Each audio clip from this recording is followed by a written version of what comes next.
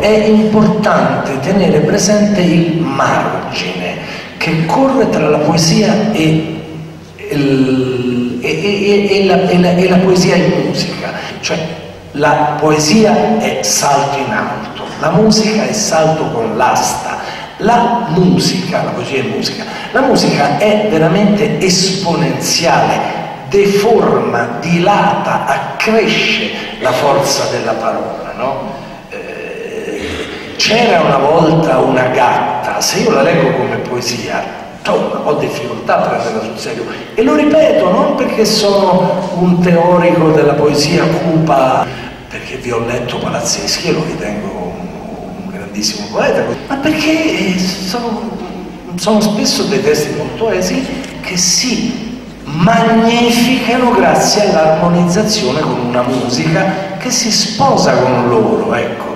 Io dico semplicemente che l'opera dei cantatori è un'opera splendida ma radicalmente diversa. Se gli togliamo la musica non resta niente, o, o meglio, resta poco, quasi sempre, a volte certo restano, lo ripeto, i, i, i testi di Conte. Ciononostante devo, e concludo, eh, difendere la posizione appunto estrema di Cucchi e, e, la mia stessa proprio perché posso più di vedere il cantante o, o cavallo o, o, che vince premi di poesia. No, questo proprio obiettivamente non è possibile. Io non entro nello specifico del suo valore musicale, ripeto. È una questione proprio di...